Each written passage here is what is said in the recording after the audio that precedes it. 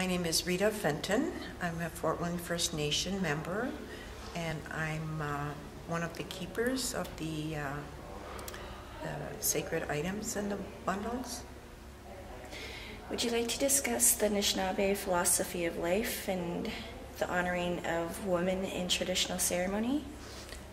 To me, the Anishinaabe uh, philosophy of life is to walk a good path, to have respect for other people, to respect all things um, the trees, the, the ground we walk on, Mother Earth, you know, everything has a spirit, so everything to me is about respect honoring everything because every like I said, everything has a spirit. And how is the honoring of women in traditional ceremony? How is it powerful? Uh, the honoring of women in the traditional uh, ceremonies, it's powerful to me because women have always been the backbone of the communities, even like way back when, when um, they would look to women for for answers to um, problems or things that were happening in the community, they would go to the women. And women are just natural uh, born caregivers, we're caretakers, you know, we, we give birth to, to the children, and, and so we are powerful, and some of us don't even know that. And uh, in ceremonies, that's um, our role is to maintain balance and to help the families to um, to be safe and to be secure and to lead a good life. So, as keeper of the bundle, I'd just like to ask you how it felt for you to have the bundle at your house since it arrived in Thunder Bay.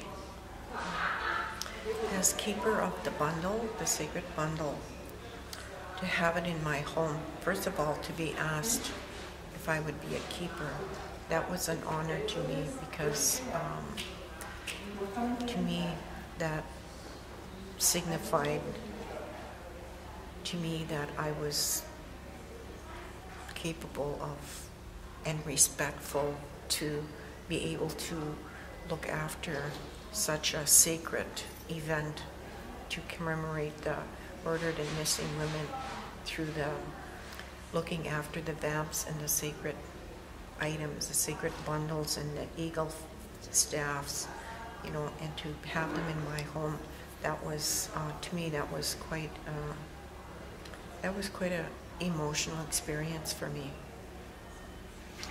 And could you describe your experience with the opening ceremony?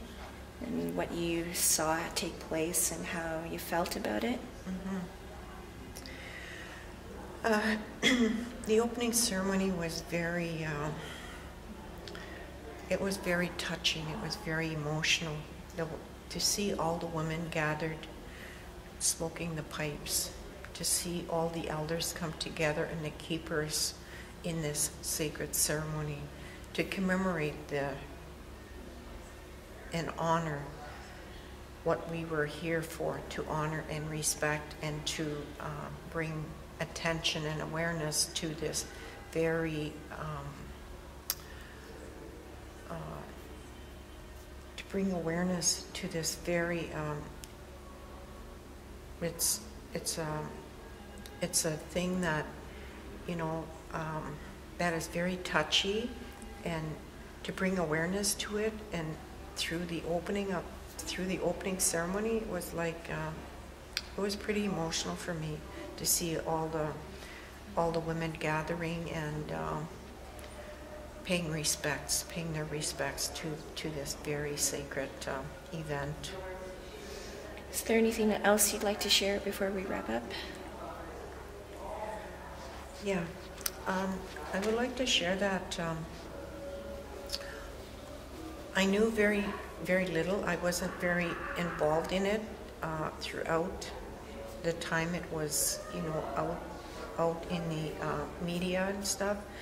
However, um, when it came kind of into um, being asked to be the keeper, for me it was like, uh,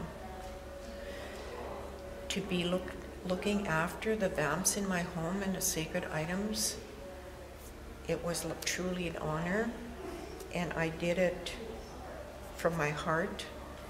You know, I was asked to um,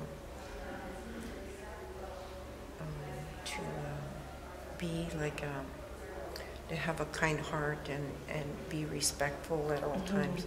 And that process, that for almost two months that I looked after the, the vamps, uh, it kind of, for me, it was like I was remembering the spirits of the women and the children that didn't return from residential school.